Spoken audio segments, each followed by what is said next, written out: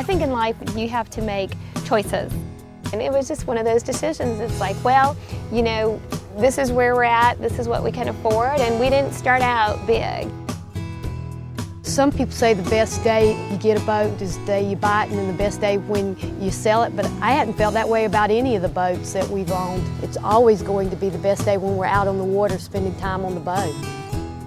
We actually went to some boat ramps and sat and talked to people that were launching their boats and asked them, and, and uh, all of them were very positive, enthusiastic about it, and we could feel the energy, and we said, you know, this is what we want to do.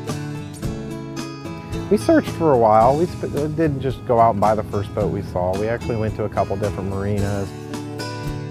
It wasn't like uh, you get the car salesman technique. That was very laid back, and almost all the dealers we went to, they're you know not too pushy.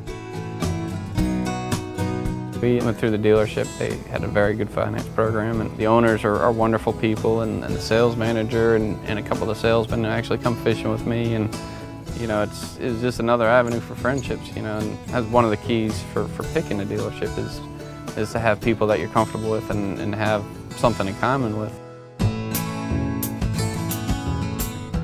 It was kind of scary financing, but uh, we made it work. For instance, if you just stop going out to eat maybe once or twice a month, that's half of a boat payment. You just change your lifestyle a little bit and you can have a whole another world open to you. Don't overextend yourself, especially on your first boat. And you know. Make sure it's what you really like to do. If the financial strain's there, it's going to take some of the fun out of it for you. It gives back more to you than you could ever put into it. I'm really glad we did it because it, it has brought our family closer together and we've done a lot of things that we probably never would have done. You know, we work Monday through Friday, and on the weekends and the holidays, we take the boat, we put it in the water, and we have fun. It's worth the time and effort to do it. It's, it's changed our lives.